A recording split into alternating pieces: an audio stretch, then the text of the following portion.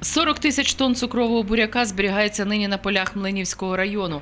В області заводи не працюють, а підприємства Львівщини та Волині не в силі зараз переробити таку кількість солодкого кореня. Ліміт для млинівських сільгоспідприємств – 5 тисяч тонн на добу.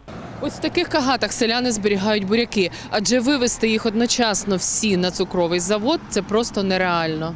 Якщо і надалі будуть подібні проблеми з переробкою сировини, то буряком засіватимуть лише 4 тисячі гектарів, кажуть в управлінні агропромислового розвитку району. А це майже на 2400 гектарів менше, ніж цього року.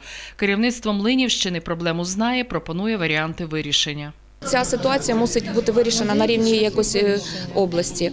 Ну треба домовлятися, наприклад, е, з Дубнівським заводом. Він так само вже є приватним. Проте або е, вони включаються в роботу, ідуть на зустріч, або ну ну викуповувати. Тому що ну який інший механізм впливу? Ніякого.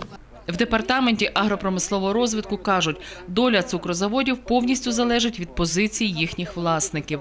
Нам вдалося додзвонитися на два заводи, які ще донедавна переробляли солодкий корінь. Так Бабино-Томахівський виставили на продаж, і нині він чекає на ефективного власника. А от роботу Дубинського цукрозаводу депутати місцевої райради просили відновити у своєму зверненні до обласної ради ще навесні цього року. Однак представники компанії власника підприємства заявили, у цьому році завод сировину приймати не буде. Голова обласної ради Михайло Кирилов каже, ситуація потребує негайного вирішення.